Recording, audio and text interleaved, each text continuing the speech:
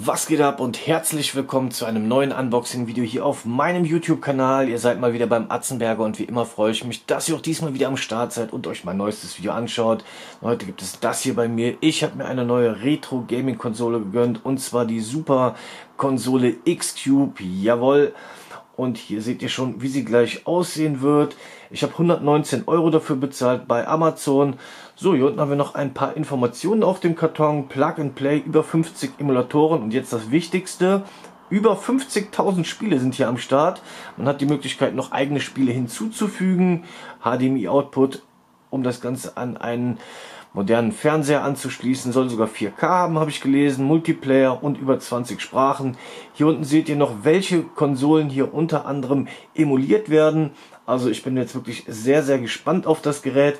Ist mir als Neugerät verkauft worden, aber ihr seht schon, ja, der Karton hat mal wieder ein wenig gelitten. Egal, ich würde sagen, wir packen die jetzt mal aus und schauen mal, was uns hier so Schönes erwartet. So, ich vermute, hier wird die Konsole selbst drin sein. Das gibt es dann gleich.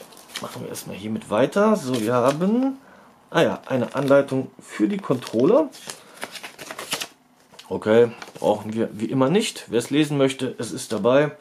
Dann haben wir noch ein User Manual dabei. Ja, Beschreibung hier, wie das Menü und alles aufgebaut ist. Ich denke mal, das brauchen wir auch nicht. Aber auch hier gilt, wer es lesen möchte, kann das natürlich gerne tun.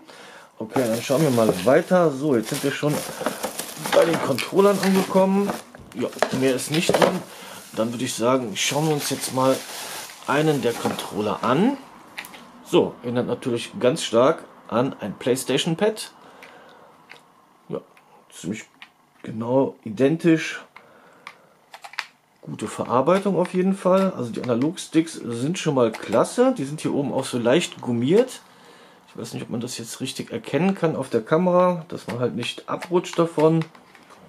Ja, klasse, hier bleibt auch nichts hängen oder so. Haben wir auch schon anders erlebt bei so billigen Nachbaupads, aber das ist wirklich hochwertig, würde ich sagen. Okay, dann gucken wir mal das Steuerkreuz. Auch das hat so eine leicht angeraute Oberfläche. Besteht aus Hartplastik. Ja, ganz gute Druckpunkte, sage ich jetzt einfach mal.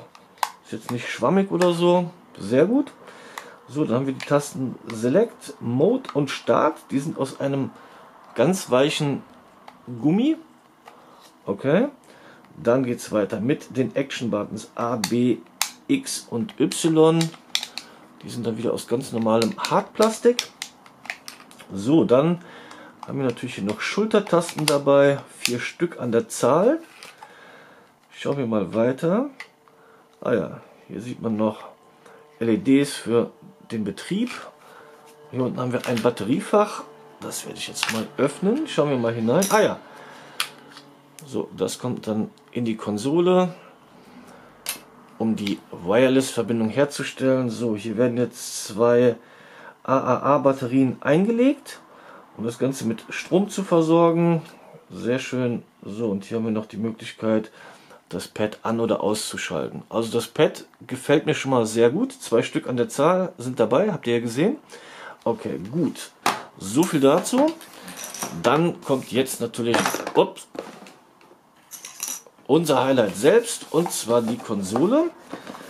Dann schauen wir mal, wie geht's auf. Ah ja, hier an der Seite. Na, komm schon. So, Okay, da ist sie. Ah, noch mehr dabei. Sehr schön. Oh, das gefällt mir. Ein Netzstecker. Perfekt, um die Konsole mit Strom zu versorgen. Das ist schon mal super. Wir haben in letzter Zeit viele Konsolen gehabt, die sich nur über USB betreiben lassen, beziehungsweise da ist dann kein Netzstecker dabei. So, dann haben wir jetzt hier noch ein HDMI-Kabel am Start. Sehr schön. So, Länge schätze ich jetzt mal auf zwei Meter, würde ich sagen, ungefähr. Okay. So, jetzt kommt natürlich unser Highlight selbst. Die Konsole. Sehr schön. ja, sieht doch ganz schick aus. Schauen wir mal. So, hier vorne haben wir vier USB-Anschlüsse. Haben wir die Möglichkeit, ja, jetzt andere Gamepads mit einem Kabel, sage ich jetzt mal, einfach hier anzuschließen oder eine USB-Maus, eine USB-Tastatur so, dann schauen wir mal hier unten. Hier sind noch drei ja, LEDs. Die werden dann im Betrieb natürlich leuchten. So, hier haben wir nichts mehr. So, dann schauen wir uns die Rückseite mal an. So schaut es aus. Hier haben wir noch die Möglichkeit, ein AV-Kabel anzuschließen, wenn man das möchte. So, hier ist unsere SD-Karte drin mit unseren Spielen und dem Betriebssystem nehme ich mal an. So, hier ist ein HD-Ausgang, um die Konsole mit dem Fernseher zu verbinden. Hier haben wir noch die Möglichkeit, ein Netzkabel anzuschließen, äh, ein Netzwerkkabel anzuschließen, also Ethernet. Ja, hier wird die Konsole dann mit Strom versorgt über den Netzstecker, der dabei ist. Und hier können wir das Ganze noch an- und ausschalten. Ja, viel mehr gibt es jetzt hier nicht zu sehen. Ja, Made in China. Okay, gut, dann würde ich sagen, ich werde jetzt mal alles anschließen. Dann gucken wir uns mal das Spielmenü an, werden ein, zwei Spiele testen, ob es irgendwie Ruckler oder sowas gibt und dann gibt es schon mal ein Fazit. Dann würde ich sagen, bis gleich. Okay, so, unser Betriebssystem ist geladen. Wir sind jetzt hier in unserem Auswahlmenü mit den Emulatoren, so mit der Starttaste. Ah ja, kommen wir hier in die Settings rein und ihr seht schon, hier gibt es wirklich jede Menge, was man hier einstellen kann. Das werden wir jetzt aber nicht machen. Wir wollen ja schließlich wissen, welche Emulatoren hier drauf sind und wie viele Spiele. Über 50.000 sollen es sein.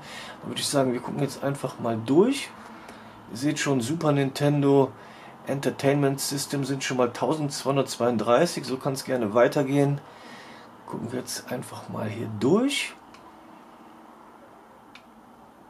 Sehr schön. Ja, ihr seht auch einige ausgefallene Sachen sind dabei. Hier ein klassischer Computer, schön. Interessant auf jeden Fall. Ah, hier haben wir All Games. Ja, 50.000 und 5 Spiele insgesamt. Wem das nicht reicht, der kann hier gerne noch ein paar draufspielen auf die SD-Karte, wie schon erwähnt. Werde ich jetzt allerdings nicht ausprobieren. Mir reicht das, was hier enthalten ist. Ja, super. Das sieht doch wirklich klasse aus. Wahnsinn.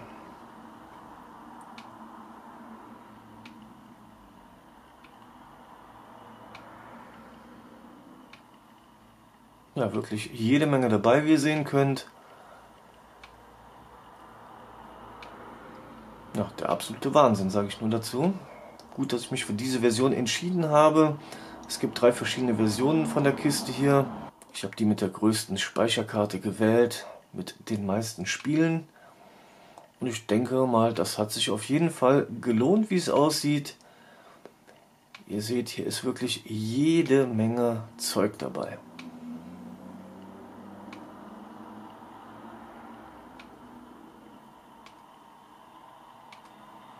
Ja, unglaublich, es geht immer weiter.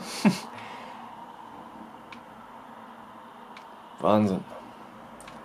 Ja, da kann man schon mal begeistert sein auf jeden Fall.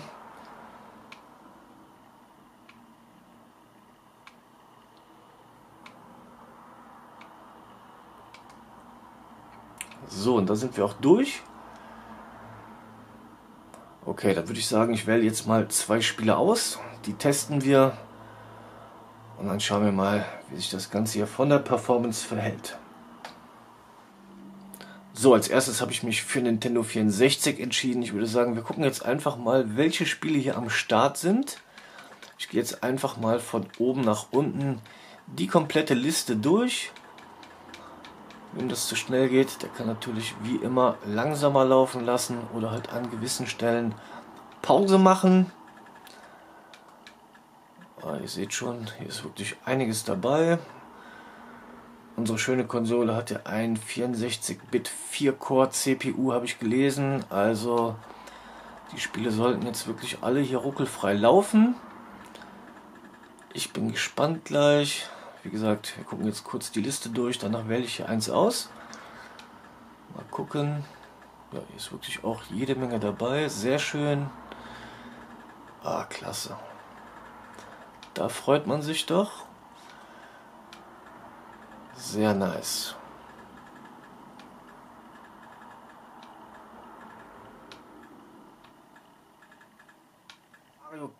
Ich habe mich für Mario Kart 64 entschieden. Jetzt gucken wir mal, wie lange das Ganze zum Laden benötigt.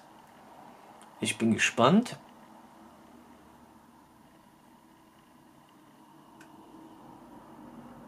Ja, das ging ja fix. Sehr nice. Okay. Dann testen wir mal, wie es aussieht mit der Performance. Ich wähle jetzt einfach hier mal was aus.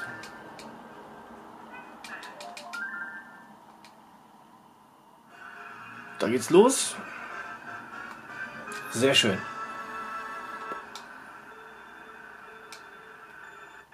Und Abfahrt. Jawohl. Ja, sieht doch super aus. Gut laufen tut's auch. Also ich kann jetzt hier keine Ruckler oder ähnliches erkennen auf den ersten Blick.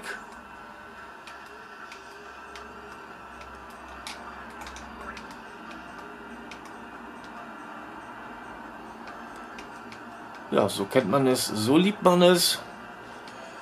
Ich weiß gar nicht, wie viele Stunden ich mit diesem Spiel verbracht habe früher. Eieiei. Ja, ein bisschen aus der Übung, ihr seht es.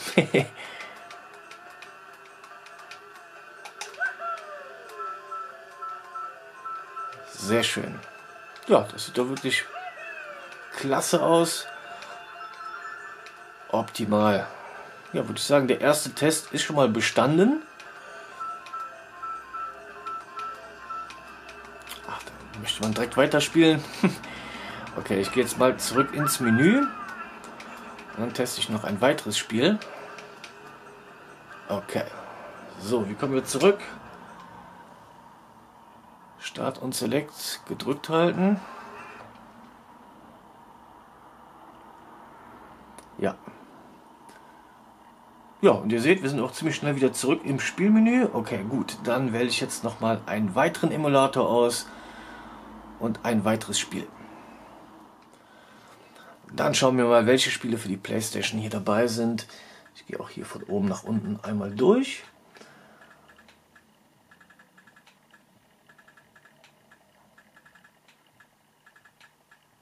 Ja, das war's auch schon. Okay, gut. Dann nehmen wir direkt mal Tekken, würde ich sagen.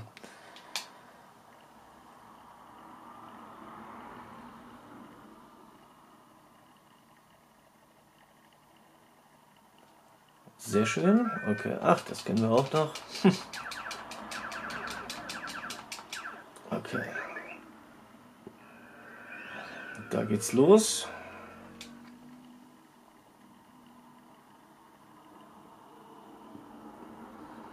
Ein Klassiker. Ah gut, grafisch natürlich schon alles ein bisschen in die Jahre gekommen, ne? Alles klar, so. Machen wir mal ein kleines Ründchen. So sah es früher aus, für die Leute, die es noch gar nicht kennen oder nur die neuen Teile. Ganz witzig auf jeden Fall. Ja, aber ihr seht, auch hier funktioniert alles sehr gut. Es läuft perfekt.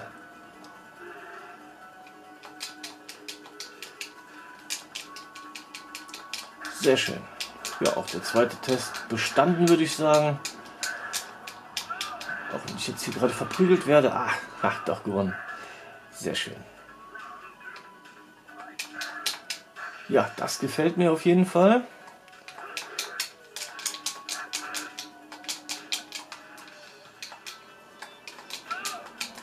Optimal. So, nach der Runde gibt es dann auch schon mein Fazit zu der Konsole. Aber ich kann jetzt schon mal sagen, ich bin begeistert. Ja, hier gibt es natürlich keine zwei Meinungen. Ganz klar, dreifach Daumen nach oben von mir. Die beste Bewertung, die es hier bei mir auf dem Kanal zu vergeben gibt. Hier bin ich wirklich absolut begeistert. Zum Preis von 119 Euro bekommt ihr wirklich eine super Konsole. genau wie der Name schon sagt. Also absolut genial. Ihr habt gesehen, wie viele Emulatoren da drauf sind, wie viele Spiele. Ihr könnt das Ganze noch erweitern. Das Gerät ist gut verarbeitet. Die Controller liegen super in der Hand. Super Spielbarkeit. Also ich weiß nicht, was man noch mehr will. Viel besser geht's gar nicht mehr. Also wie gesagt, kann ich jedem nur empfehlen. Ab heute ganz klar meine neue Lieblingskonsole. Die bleibt natürlich angeschlossen. Da werde ich noch jede Menge Zeit mit verbringen. Also absolut genial. Mehr kann ich dazu nicht sagen. Da fehlen mir die Worte. Also eine ganz klare Kaufempfehlung, vor allem für Leute, die vielleicht noch gar keine Konsole haben. Lasst euch von dem hohen Preis nicht abschrecken. Ihr habt ja gesehen, das Ding ist wirklich jeden Cent wert meiner Meinung nach. Ich würde sie mir auf jeden Fall jederzeit wieder kaufen und wie gesagt, ich lege sie euch ans Herz. Ich denke, ihr werdet genauso begeistert sein wie ich. So, das war's schon wieder mit meinem kleinen Testvideo. Ich hoffe, es hat euch gefallen. Wenn ja, würde ich mich selber einen Daumen nach oben freuen.